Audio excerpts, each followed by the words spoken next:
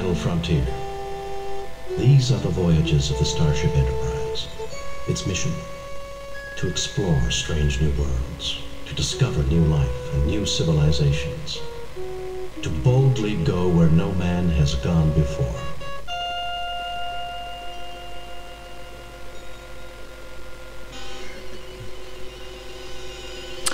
Hello, boys and girls, and welcome to Let's Play Star Trek 25th Anniversary.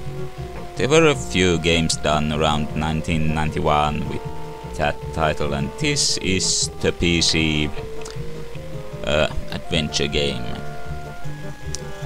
Ah, with the new movie out, I just got to hankering to do something with Star Trek, and well, I greatly enjoy this game, so Let's go.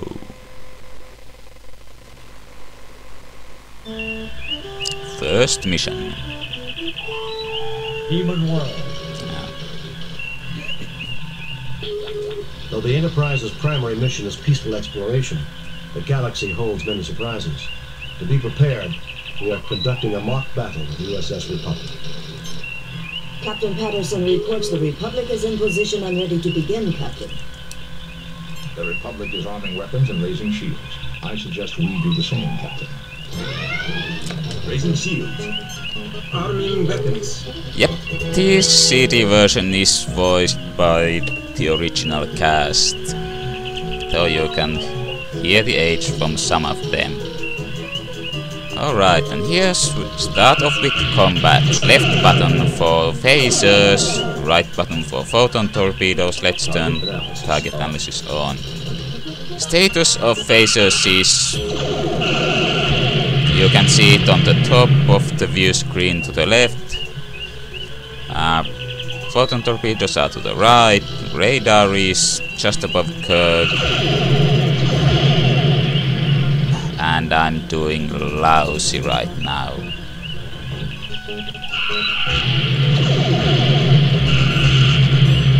But now I got some shots in too. Goody.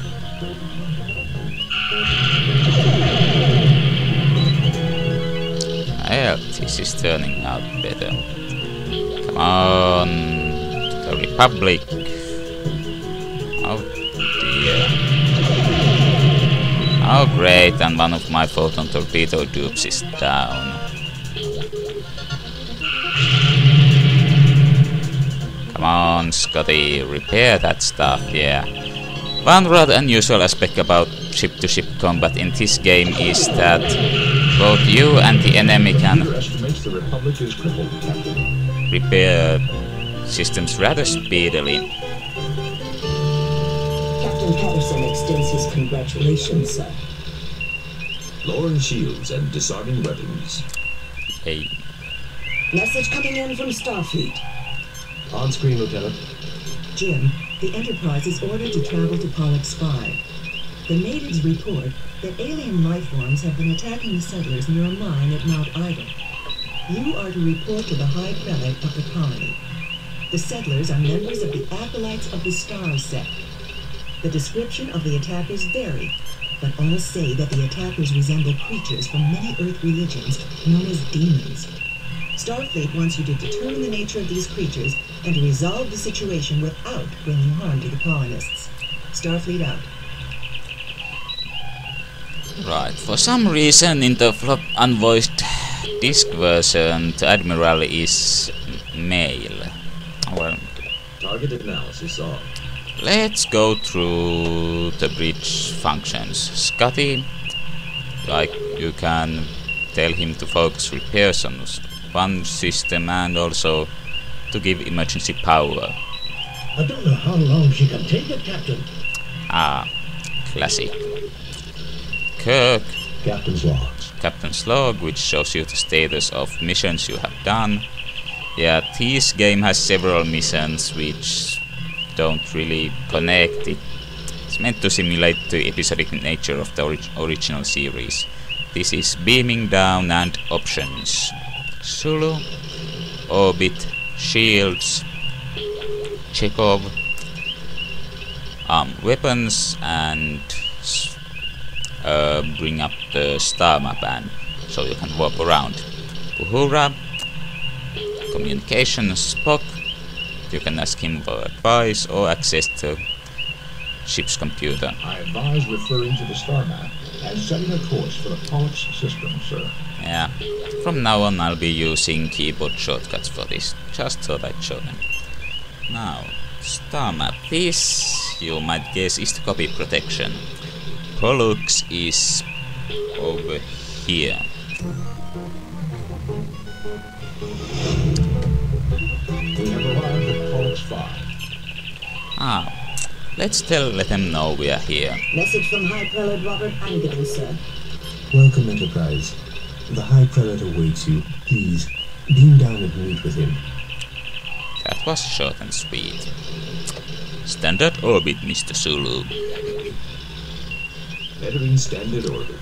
Uh, you can get ask computers about background information naturally, or the Enterprise crew members are in there as well as major alien species and such. But let's stick to the mission at hand. Pollux 5 system. An inhabited satellite of Pollux B. Pollux 5 has lately emerged from an ice age caused by large meteor strikes. It has recently been colonized by the acolytes of the star's religious sect. The planet is home to a wide variety of plant life, but insects and other lower life forms are the only known animals. Okay, what about these collides? Acolytes, fully acolytes of the stars. Inspired by old human religions, the acolytes of the stars are a group of deists that have colonized several worlds in this quadrant. The acolytes prefer a relatively primitive lifestyle, reminiscent of mid 21st century Earth rural communities. Acolyte missionaries regularly assist nearby Federation worlds during times of need or disaster. Major acolyte settlements are Nicolasi on Pollux 5, Germania on Maddox 2, and Kentigern on Haven's World. Yeah.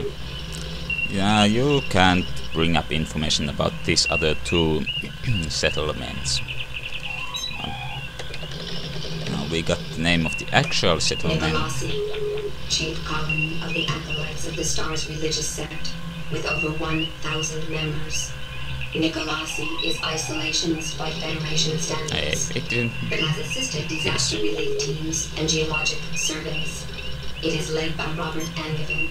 Yeah, looks like it skipped this sentence, but well, no wonder since looks like it was repeated at the end. Mr. Angiven. Robert Angiven. Fully. High Prelate Robert Everett Angiven. As High Prelate of the Acolytes of the Stars, see Acolytes.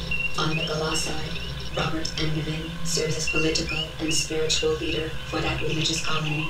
Angiven is the acting Federation contact on that world and is considered by Federation diplomats to be a fair and capable leader. Hmm. One more thing before we beam down. Demon.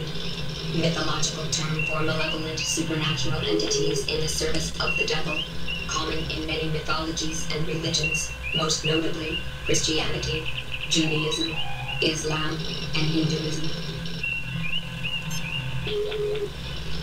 Right, let's beam down. Will there be we find demons? Spock, come with me. Mr. Scott, you have the conn.